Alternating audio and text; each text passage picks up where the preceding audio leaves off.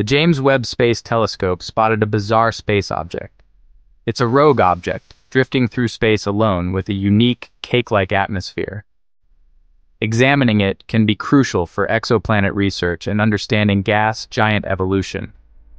This object, called SIMP, has a unique atmospheric combo with iron and magnesium clouds and carbon-based chemicals. Scientists have even spotted auroras on it. It's the first weather report on a rogue object. It doesn't fit neatly as a planet or a brown dwarf. Rogue objects like this could disrupt solar systems if they get too close. This rogue object has a short day, is relatively close, and is the brightest of its kind visible from the northern hemisphere.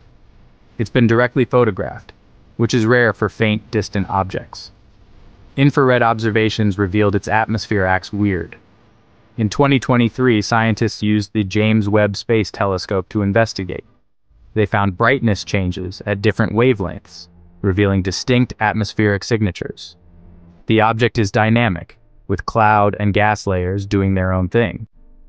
Models suggest iron clouds, forsterite clouds, and hotspots contribute to its atmospheric behavior. Mysteries remain, possibly due to carbon monoxide. This is the first direct observation of such atmospheric chaos. More data is needed, and the Nancy Grace Roman Space Telescope may help in the future. That's it.